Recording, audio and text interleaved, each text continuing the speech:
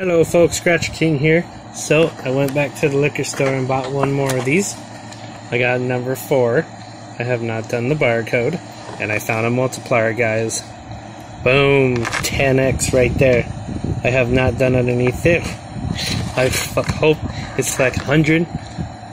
Last time I got a 10x on a $30 card.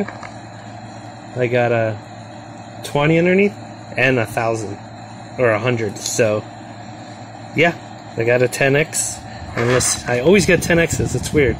And let's see what it is. Cars are doing good for me. Okay. Small zeros. Ooh, 100 bucks.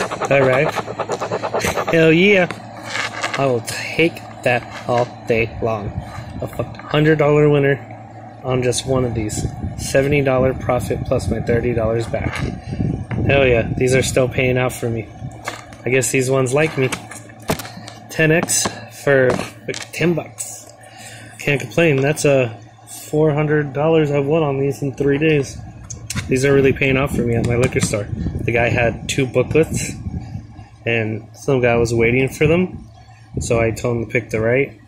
The guy in front of me got uh, what four? You got zero zero zero zero one zero zero two and zero zero three. I got zero zero four. So that guy should have, I guess, got zero zero four because I got ten x. All right, folks. Thank you for watching, and best of luck on your future scratchers. Scratch King out.